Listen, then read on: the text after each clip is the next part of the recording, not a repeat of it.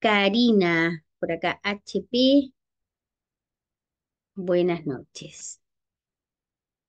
Bueno, aquí está el ciclo de estudio para todas las personas que recién se están integrando por primera vez. Yo les comento que todos los días nosotros estudiamos un, un capítulo del libro del conductor. Eh, esta semana, hoy día es lunes, ya mañana es martes y mañana es feriado. Mañana nosotros no hacemos clases, pero sí durante esta semana va a haber un día que vamos a hacer una clase doble. La clase doble, ¿por qué? Eh, ¿por qué? Porque en este caso son dos capítulos que son bastante más cortos y que se pueden ver perfectamente en una hora de clases. Hoy día lunes vamos a comenzar con los siniestros de tránsito. El martes nos saltamos mañana. El miércoles continuamos con los principios de la conducción.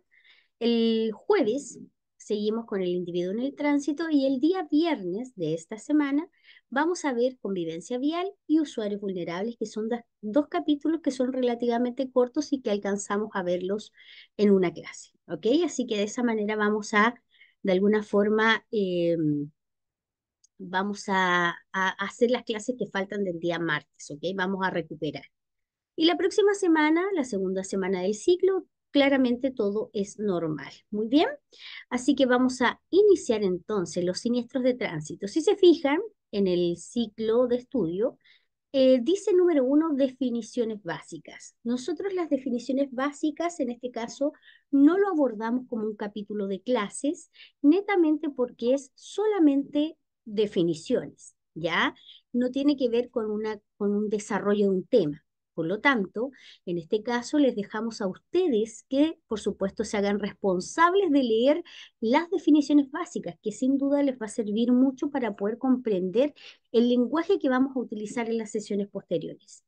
Hoy vamos a seguir con la sesión número uno que habla sobre siniestros de tránsito, que es el capítulo que vamos a ver el día de hoy. Muy bien.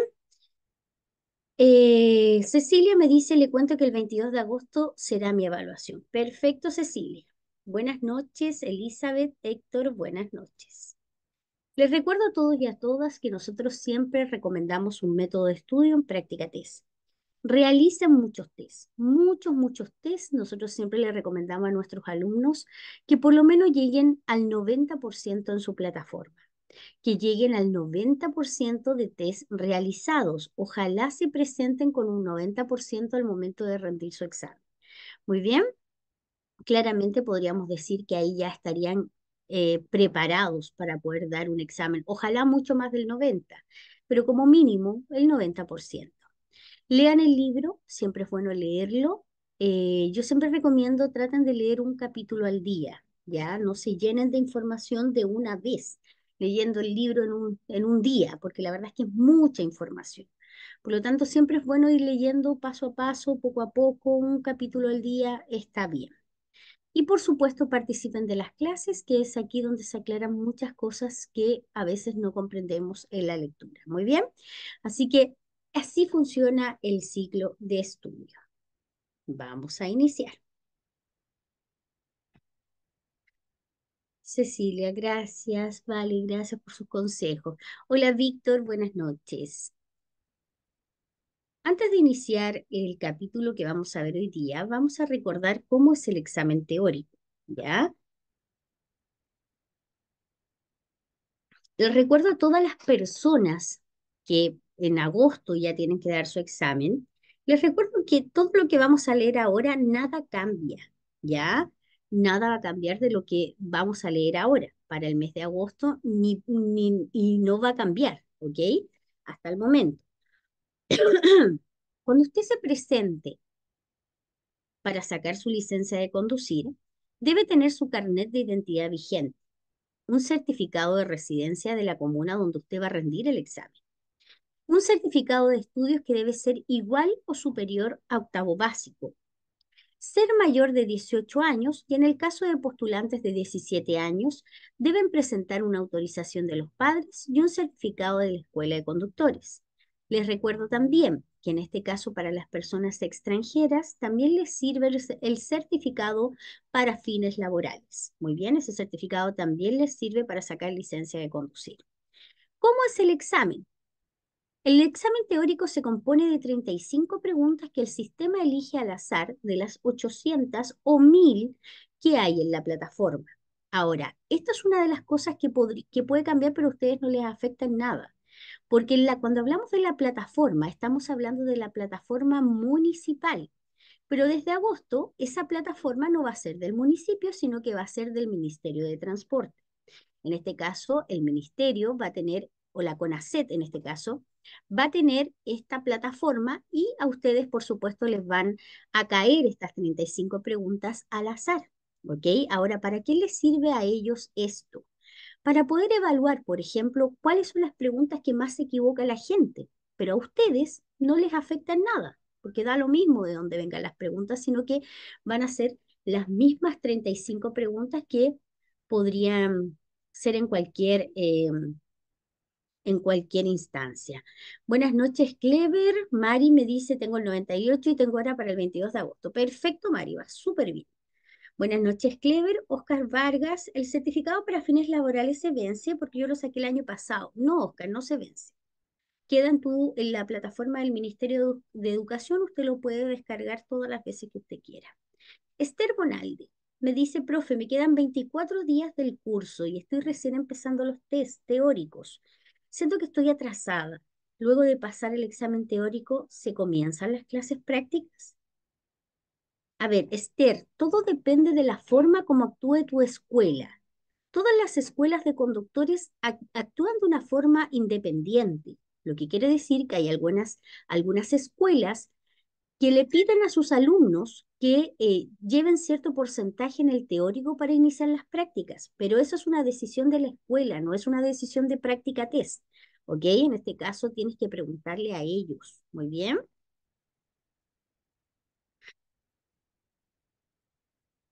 Buenas noches, usuario de Zoom.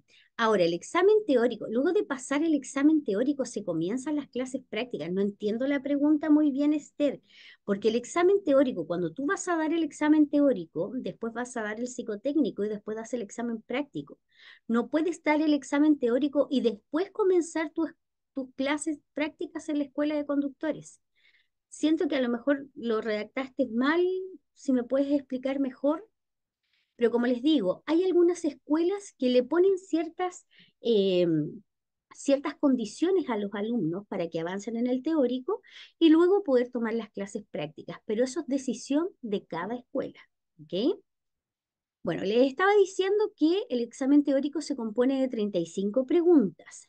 Hay tres preguntas que son de doble puntaje, por lo tanto el examen tiene un puntaje máximo de 38 puntos y se aprueba con un mínimo de 33 puntos. Usted va a tener un tiempo máximo para responder de 45 minutos.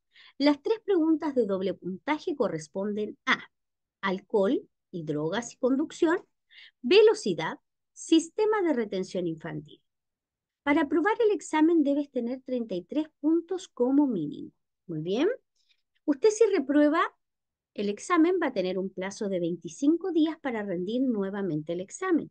Pero si lo vuelve a reprobar esa segunda vez, debes comenzar todo el trámite de nuevo. Lo que quiere decir que si fallas la primera vez, vas a tener un plazo de 25 días para volver a presentarte a dar el examen. Si fallaste esa segunda vez, el municipio te va a extender el plazo para que tú puedas volver. Y ese plazo puede ser por lo menos un mes, ¿ok?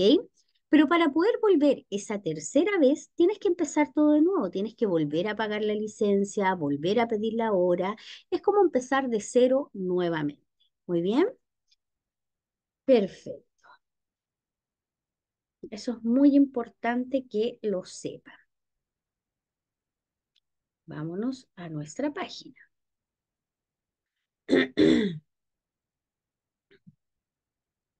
Por acá me dice, Watson, hola profe, hola a todos. Lamentablemente fui, fue anegado hoy día. Me esfuerzo mucho, perdí todos mis tiempos para prepararme, me equivoqué en seis preguntas a 32 puntajes, me siento decepcionado, desesperado, desorientado, estoy súper mal mentalmente. Watson, me imagino que acá nos cuentas que fallaste en tu examen teórico. Ya, eh, claramente no sé cuántas veces has dado el examen anteriormente, a lo mejor es tu primera vez o es tu segundo fallo, no sé cuál es, cuál es el, cuánta cantidad de veces has dado el examen. Eh, a ver, ahora está bien, es, es normal que uno se sienta mal, o sea, no, no, no puedes eh, no sentirte mal. Creo que la decepción, la frustración, claramente que es normal que uno la sienta, ¿ya? Pero ojo, cuidado con tomar decisiones cuando uno tiene este sentimiento o esta emoción tan profunda. Traten de alguna forma de calmarse, tomarse un tiempo para respirar, para analizar, para pensar y vuelvan a comenzar. No se rindan. Esto de alguna forma en algún momento va a salir, Watson pero cálmate, tómate un tiempo, respira, cálmate y date el tiempo también para sentir la frustración. Si somos seres humanos, lógico que nos sintamos mal, ¿ya? Así que cuando usted se sienta con ánimo, vuelva a empezar, volvemos a hacer las clases, volvemos a estudiar y seguimos adelante. Siga adelante, usted lo va a lograr. Pero si te quedas en el camino y tiras esto por la borda, la verdad es que eh, no sería bueno.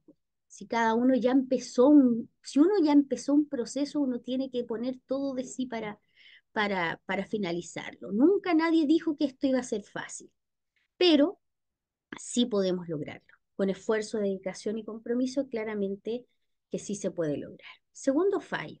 Iba. Profe, si fallo la primera vez, luego cuando realice el segundo intento, es probable que me toque la prueba nueva actualizada. Entiendo que en agosto ya cambiará la prueba. De nuevo, Coti, parece que eres nueva. Coti, te cuento que la prueba no cambia. Cuidado con las palabras que utilizamos. La prueba no va a cambiar. La prueba sigue siendo la misma. Solamente lo que va a cambiar son el nombre del libro del conductor y se van a complementar algunos temas que ya existen en el libro del conductor, que es convivencia vial, sistema de retención infantil y se va a agregar un pequeño párrafo que tiene que ver con electromovilidad. Es probable que se agreguen un par de preguntas, tampoco van a ser tantas preguntas. A lo mejor se van a agregar un par de preguntas que tengan que ver con eso, pero nada más. Todas las otras preguntas siguen igual, el examen sigue igual, las 35 preguntas siguen igual. Recuerden siempre que la ley no cambia, la ley no cambia. Solamente se van a fortalecer algunos temas y como les decía la otra vez, lo más importante es que se va se van a revisar la redacción de algunas preguntas, lo que, por lo cual se va a mejorar mucho la comprensión de algunas preguntas. Segundo fallo, ánimo Watson, no te rindas. Vendes barato. ánimo Watson, me pasó lo mismo, exactamente. Vamos Watson. Gracias, profe, por responder. Sí, soy nueva, de mi primer día de conducción. Saqué hasta. Vamos que se puede, Watson. Confía en ti. Hay clave. Ahí está la clave. Yo también poniendo todo de parte sacar la licencia. Gracias a todos por sus bonitos consejos. Mira, Watson, Así que creo que aquí está la muestra mucho, esto demuestra mucho que no tienes que rendirte, Watson. Vamos para arriba, date el tiempo, obviamente uno se siente mal, ya, pero date el tiempo para vivir este malestar y luego sácalo para afuera y dale para adelante nomás, Watson. Tú puedes, tú puedes, así que vamos otra vez. Eh, por acá, ¿quién era? Coti. Sí, eres nueva. Qué bueno, Coti, que te sirvió la aclaración. Como te digo, la prueba no cambia, solamente se van a complementar algunas cosas. Y créeme que ese complemento va a ser súper paulatino, paulatino. No va a ser así como, ¡guau! No, va a ser, y los cambios, y, los cambios, las, las, este complemento a la prueba que va a haber va a ser eh, súper positivo, va a ser súper bueno, así que no se asusten, lo que siempre les digo, no se asusten, ¿ya? Que esto no cambia, la ley no cambia. Muy bien, comencemos entonces. Aquí estamos en nuestra plataforma oficial, nos vamos a la sección de temarios. Aquí nos vamos donde dice temario B Aquí está definiciones básicas, como les dije al principio. Esa parte se las dejamos a ustedes para que la puedan leer en algún momento de estudio personal. Nos vamos donde dice siniestros de tránsito y ponemos leer temario. Y aquí está el tema que vamos a estudiar el día de hoy. Muy bien, vamos a comenzar. Arriba el ánimo, Watson, que se puede. Tú puedes, Watson.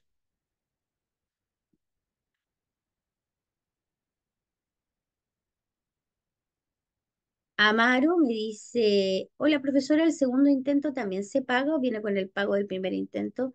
Viene con el pago del primer intento, tal como te contesta Watson acá. Muy bien.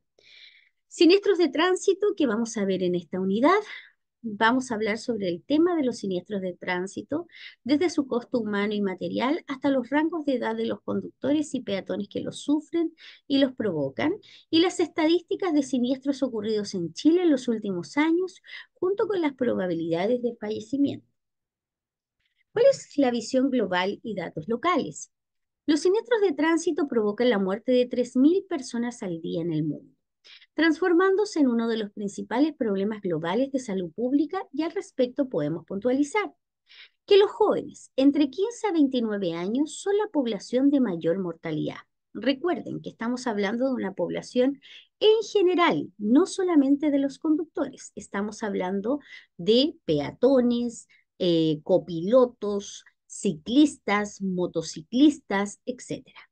Al menos 100 personas cercanas a un fallecido en un siniestro de tránsito sufren su pérdida, según estudios recientes. El impacto económico alcanza el 2% del PIB, según la OMS. Muy bien, recuerden que el PIB es el Producto Interno Bruto de un país, según la OMS, quiere decir según la Organización Mundial de la Salud.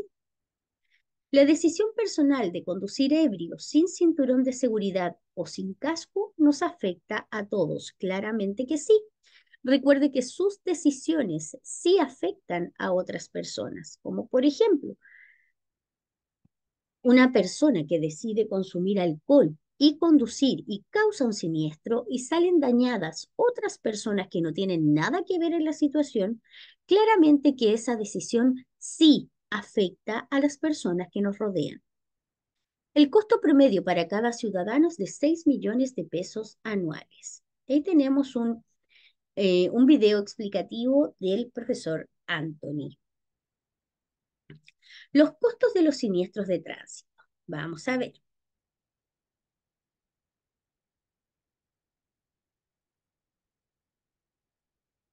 Acá Watson nos dice, gracias compañeros por sus consejos y gracias profe. Voy a descansar por un tiempito porque tengo cita hasta el 15 de enero. Claramente que sí, pero no se rinda, ¿ok? Siga adelante, usted puede. El costo de los siniestros de tránsito. Los costos de los siniestros de tránsito son cuatro. ¿Cuál es cada uno de ellos? Los primeros costos son costos de salud. Cuando hablamos de costos de salud, tiene que ver con tratamientos médicos, primeros auxilios, traslados en ambulancia y rehabilitación.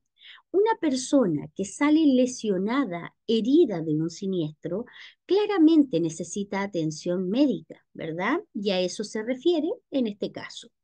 Cuando hablamos de los costos humanos, estamos hablando del sufrimiento físico y psicológico del lesionado y sus cercanos, pérdida laboral durante la rehabilitación, les recuerdo que los costos humanos en este caso tiene que ver, primero, recuerde que una persona que vive el trauma de un siniestro, claramente que queda lesionado, no solamente físicamente, sino también mentalmente.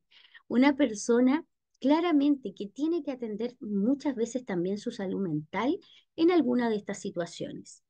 Pérdida laboral durante la rehabilitación, una persona que se ve afectada físicamente, claramente que se ve afectado a veces, en este caso, su trabajo y también em, eh, no solamente a sí mismo, sino también a todas las personas que le rodean, como a su, a su familia, por ejemplo.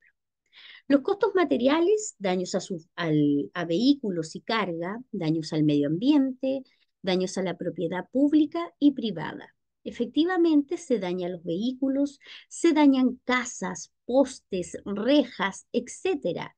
Claramente que hay un costo importante que solventar en esa situación. Y los costos administrativos, legales, jueces y abogados, gestión de seguros, carabineros y bomberos. En este caso, hay un, siempre hay un responsable de los siniestros y esta persona también tiene que hacerse responsable legalmente de la situación que provocó. Muy bien, A eso se refiere con los costos administrativos. En resumen, los costos de los siniestros de tránsito son cuatro. Costos de salud, humanos, materiales y administrativos. Se nos dice que los siniestros son evitables. Los siniestros de tránsito no son azarosos ni impredecibles y se pueden evitar, pues se tiene claridad del por qué y cómo, cuándo ocurren. Algunas razones que explican claramente por qué estos eventos no son accidentales es porque aumentan cuando llueve. En los siniestros nocturnos mueren más personas. Quienes manejan ebrios provocan más siniestros. Claramente que como conductores tenemos que saber que cuando llueve tenemos que bajar la velocidad, ya que el agua al mezclarse con el polvo y el aceite del pavimento es cuando más peligroso está. En los siniestros nocturnos mueren más personas. Cuando hay siniestros nocturnos siempre hay más factores involucrados, como la velocidad, el consumo de alcohol, etc. El conocimiento de los factores de riesgo descritos en todo este texto podrían haber evitado casi todas las muertes producidas en estos eventos evitables. Aquí el registro de los siniestros en Chile. Atención con estos números que en su examen aparecen de manera textual. 86.000 siniestros se producen al año, 1.600 fallecidos al año, 8.000 lesionados graves, 550 atropellados al año. 4 a 5 mueren diariamente. Vamos a ver ahora aquí la probabilidad de sobrevivir a un atropello según la velocidad del impacto. Se nos dice que un vehículo que viaja a 30 kilómetros por hora y atropella a una persona, esa persona solamente tiene el 90% de probabilidades de sobrevivir a este atropello. Un vehículo que viaja a 50 kilómetros por hora y atropella a una persona, esta persona solamente tiene el 50% de probabilidades de sobrevivir a este atropello. Y un vehículo que viaja a 60 kilómetros por hora y atropella a una persona, esta persona tiene solamente el 10% de probabilidades de sobrevivir a un atropello. Lo que quiere decir que sobre los 60 kilómetros por hora, las probabilidades de sobrevivir a un atropello son casi mínimas. Zonas, horarios y peligrosidad. En este caso tenemos dos gráficos. Tenemos el gráfico que habla primero de fallecidos y luego el que habla de siniestros. ¿Qué nos dice cada uno de ellos? Se nos dice que la mayoría de los siniestros se registran en zonas urbanas, sin embargo, la mayoría de los fallecidos se registran en siniestros en zonas no urbanas, especialmente en carreteras y autopistas los fines de semana y feriados. ¿Qué análisis podemos hacer en este contexto? Que, en este caso, la mayor cantidad de fallecidos se producen en zona no urbana, como ya decía la lectura, en carreteras y autopistas. Generalmente, ¿por qué? Por el factor velocidad. Recuerden que en autopistas y en zona no urbana podemos circular a velocidades mucho más altas. Por lo tanto, el factor velocidad es fundamental en este caso para saber si una persona sobrevive o no sobrevive a un siniestro.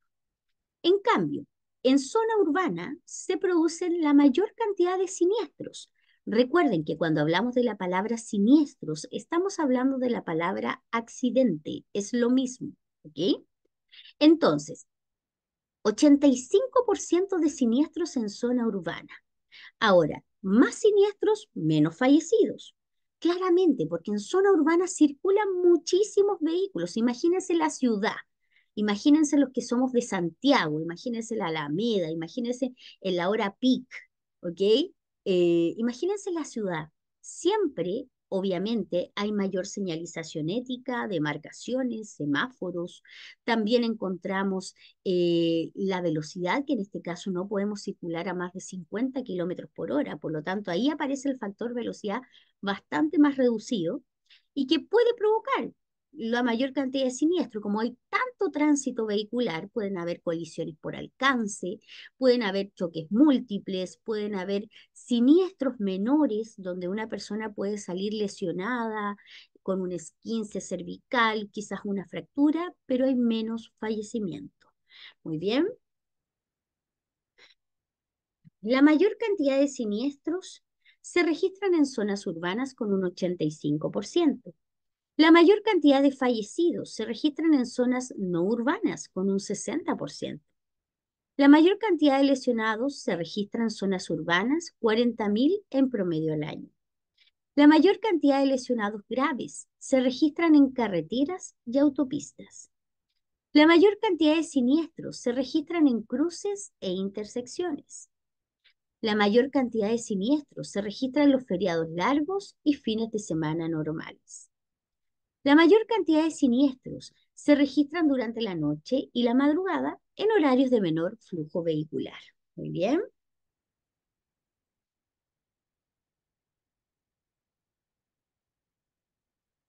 Marco Moraga, 550 atropellados al año son igual a muertes, no Marco.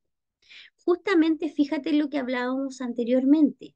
Atropello pueden haber, depende de la velocidad del atropello. ¿ya? un vehículo que va a 30 kilómetros por hora y atropella a una persona, esa persona tiene el 90% de probabilidades de sobrevivir. Por lo tanto, cuando hablamos de atropello, no precisamente hablamos de muerte principalmente. Muy bien. Según las estadísticas, 550 atropellados al año, pero no habla de muerte. Abajo dice 4 a 5 mueren diariamente, Marco. ¿Ok? Perfecto. Edad y recurrencia de la siniestrabilidad. Los jóvenes entre 18 y 29 años son el grupo de mayor siniestrabilidad y fallecimiento en siniestros de tránsito que corresponden al 27% de los conductores. En este caso, fíjese en el rango de edad. De 0 a 17, un 2% de conductores fallecidos, en este caso, y el rango de edad entre 18 a 29 años se dice que es la edad o el rango de edad donde más siniestros se producen y donde más personas fallecen a esa edad. ¿Ya? Ahora, si vemos la edad 18-29 años, el libro del conductor más adelante explica también los motivos del por qué mayoritariamente son los conductores de 18 29 años los que más fallecen y los que más siniestros provocan. Y uno de los factores principales tiene que ver con la madurez. Hay personas, o conductores en este caso, que tienen una licencia de conducir que conducen muy jóvenes pero sin duda el factor madurez es determinante para saber si la persona es tan responsable o no lo es. Muy bien. Entonces, en este caso, el libro del conductor toca ese tema más adelante que también lo vamos a mencionar. Ahora, quiero hacer una diferencia. En este caso, estamos hablando entre 18 y 29 años, estamos hablando solamente de conductores. Si se fijaron o se recuerdan, al iniciar la lectura yo hablé y dije, por aquí hay un dato que dice que los jóvenes entre 15 a 29 años son la población de mayor mortalidad, pero en este caso estamos hablando de una población en general. Estamos hablando de conductores, peatones, acompañantes, ciclistas, motociclistas, etc. Estamos hablando de una población en general. En cambio, en las estadísticas que se nos muestran más abajo, se nos habla, entre 18 y 29 años, se nos habla exclusivamente de los conductores. Los conductores de 18 a 29 años son los que más siniestros provocan y los que más fallecen. Muy bien, que no se le olvide ese dato, que esa es súper pregunta de examen. Ahí tenemos, por supuesto, un video de apoyo. En nuestra página, ustedes van a encontrar muchos videos de apoyo, ¿ok? En este caso, ustedes los pueden revisar en algún momento de estudio personal.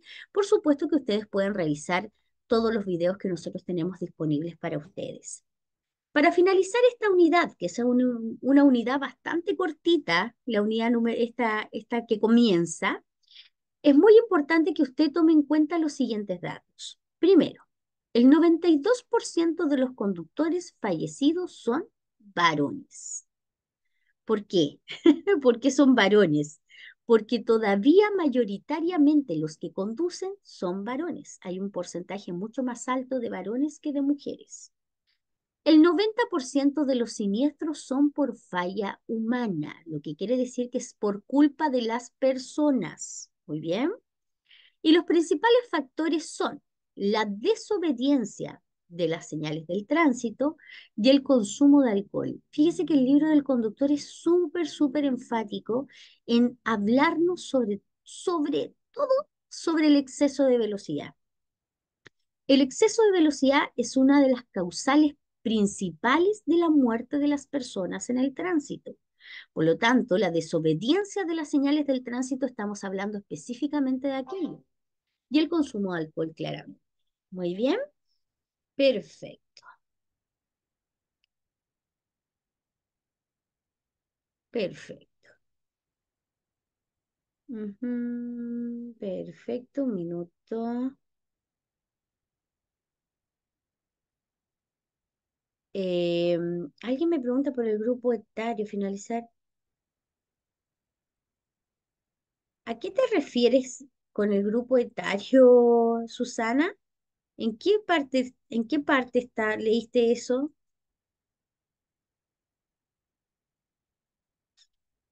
Ah, el rango etario del video. Ya, es una pregunta, el rango etario. El rango etario en este caso habla principalmente del tema de la edad. Ya, el rango etario habla de la edad, de cuál es la edad principal en este caso de eh, lo que vimos acá. El rango etario de, de la edad, en este caso el rango de edad, a eso se refiere, sobre el rango de edad de los conductores que más provocan siniestros y más fallecen. A eso se refiere. ¿Ya? Muy bien. Hemos finalizado el capítulo de hoy, pero todavía no terminamos la clase. Más abajo de este capítulo, ustedes van a encontrar lo que es la normativa. La normativa legal no es necesario que usted la lea, pero sí tiene que saber que toda la información que aparece aquí se sustenta en todas estas leyes que aparecen acá.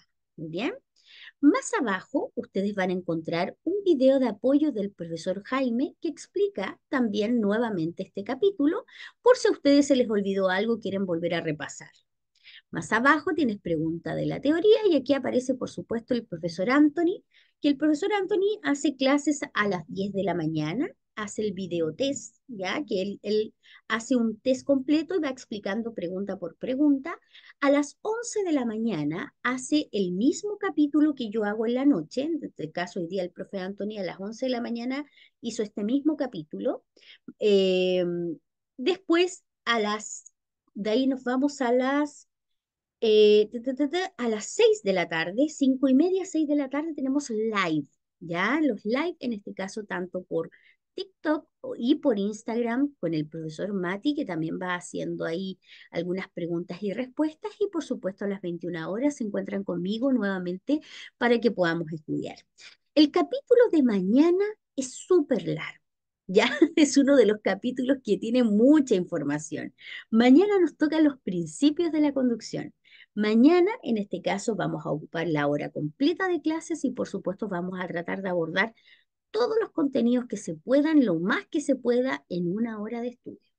Vamos a hacer algunas preguntas ahora de este capítulo y ustedes me responden en el chat la respuesta que ustedes, perdón, el miércoles, gracias, eh, el miércoles.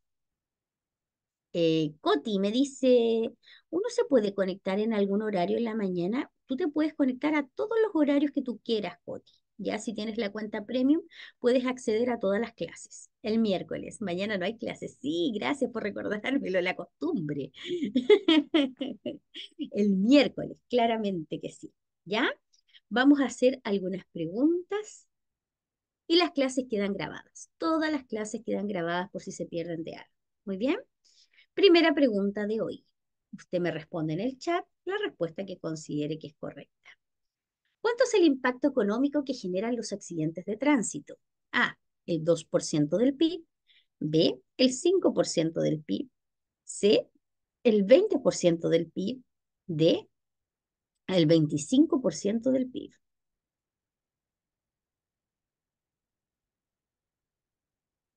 Marque su respuesta. Capítulo en particular, el capítulo, este capítulo de los siniestros de tránsito, es un capítulo súper numérico. hay harto número aquí, hay harto número que tenemos que memorizar. El 2% del PIB y eso es correcto. Muy bien.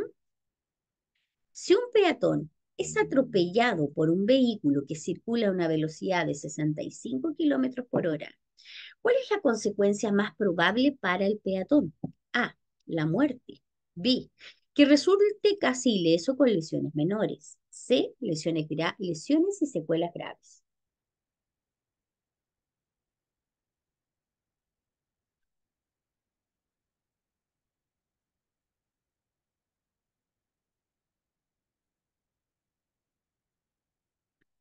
Muy bien. La mayoría de ustedes me marca la letra A, la muerte, y eso es correcto. Muy bien.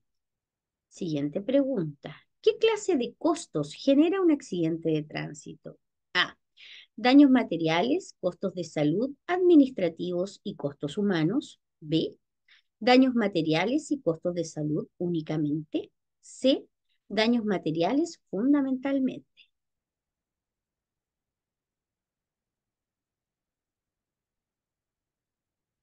Muy bien. Ustedes me dicen que es la letra A. Uy, estamos cargados la letra A para ese día. Y eso es correcto. Recuerden siempre que los costos son cuatro. ¿Ok? Sobre la falla humana en accidentes podemos decir A. No hay registro sobre el tema. B. Solo es el 40% de los casos. C. Que representa cerca del 90% de los casos. D. Todos son por falla humana.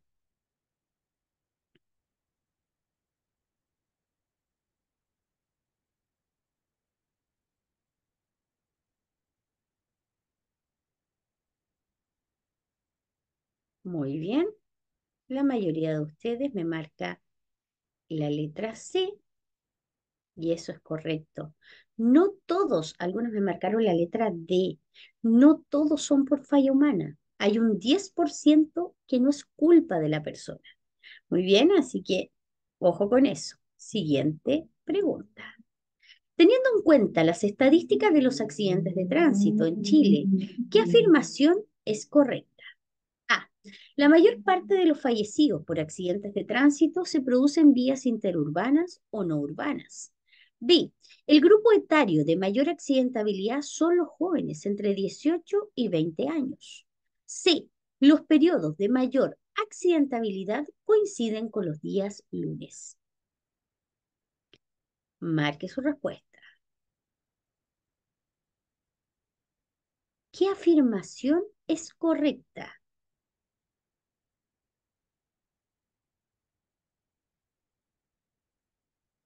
La mayoría de ustedes me marca la letra A. Y yo voy a marcar la letra A. Y eso es correcto. Recuerden que la letra B no puede ser, ya que el grupo etario de mayor accidentabilidad son los jóvenes entre 18 y 29 años. ¿Ya? No 20. C. Los periodos de mayor accidentabilidad coinciden con los días lunes. Mm, mm, no. Fin de semanas y feriados largos. Eso era lo que aparecía en el libro del conductor. Feriados largos, tu, y acá está la mayor accidentabilidad entre 18 y 29 años. Muy bien, así que claramente que la respuesta correcta es la letra A. Muy bien. Ya. Quiero contarles que no mañana, el miércoles, vamos a continuar con el tema de los principios de la conducción. Si usted mañana tiene feriado y quiere avanzar en esto, yo le recomiendo que lea ese tema, léalo y haga test de ese tema. ¿Por qué? Porque este es uno de los temas más largos. Hay tres temas muy largos en el libro del conductor, que son los principios de la conducción, el individuo en el tránsito y normas de circulación. Son los capítulos más extensos y que tienen mayor, mucha información. En este caso vamos a hablar sobre el funcionamiento mecánico del vehículo, los elementos de seguridad activa y pasiva y vamos a hablar cómo se calcula la distancia de detención.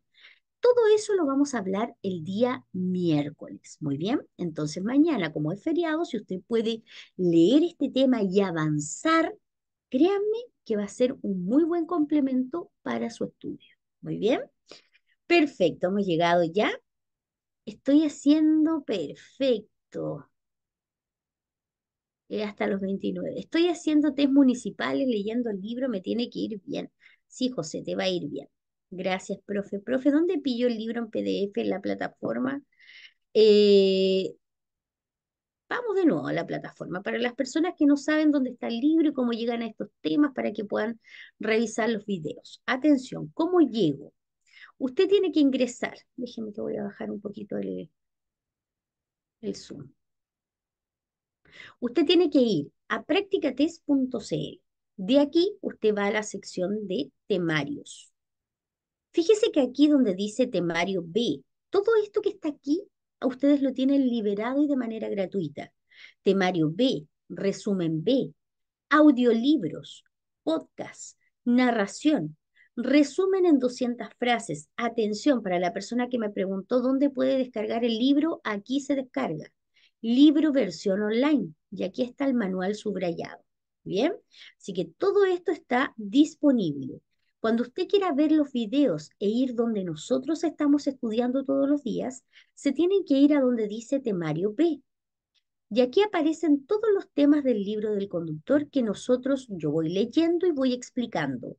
Y que además ustedes, al ingresar a cada tema, se van a encontrar con varios videos que ustedes pueden, por supuesto, verlos para poder complementar su estudio. Yo les recomiendo los videos, son súper buenos y súper bien explicados. Así que cuando tengan un tiempito, pónganse a ver videos que les va a servir también. Muy bien, y cuando donde dice exámenes, pero ustedes que tienen la cuenta premium, se van donde dice licencia B, y aquí aparecen los exámenes por municipalidad que son las preguntas que más se repiten o que tienen más tendencia en cada municipio. Arriba los test inteligentes corresponden a aquellas preguntas que tú más te equivocas y el sistema te las vuelve a poner hasta que te las aprendas. Acá más abajo tenemos los más difíciles, las más fáciles, los test por tema, que es lo que estamos haciendo ahora en clases, y por supuesto la versión gratuita. Muy bien. Así que todo eso tienen disponible y mucho más en nuestra plataforma practicatest.cl. Muy bien, sigan estudiando. Gracias, profe, muy bueno. Consulta, he visto que, que está a la venta el libro, el físico. Libro físico tiene más información, no tiene más información, Marco, es el mismo libro que tú puedes descargar. Ya es el mismo libro que nosotros tenemos descargable en la página.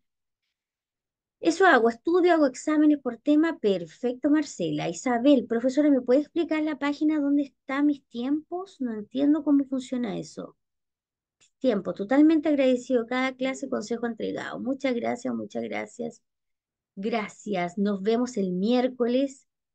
Bárbara, profesora, solo venía a dar las gracias. Pasé el teórico hoy en tiempo récord. De una semana solo tuve, solo una semana tuve para estudiar. Perfecto, Bárbara. Muchas felicitaciones, por supuesto, de parte de todo el equipo de Práctica Test. Muchas, muchas felicitaciones. Me imagino que te dedicaste full y creo que eres un súper ejemplo para demostrarle a las personas que la página practicatest.cl sí tiene las preguntas, sí sirve y sí, por supuesto, te dedicas claramente que vas a obtener tu licencia. Así que muchas, muchas gracias, Bárbara, también por la confianza y por supuesto por haberte quedado con nosotros en Práctica Test. que estés muy bien. Full con usted, por acá me dice, me leí el libro hasta las 5 de la mañana. Perfecto, Bárbara. Muchas felicitaciones. Que estés bien, mucho éxito, que te vaya súper bien. Chao, chao, nos vemos el miércoles. Cuídense. Buenas noches.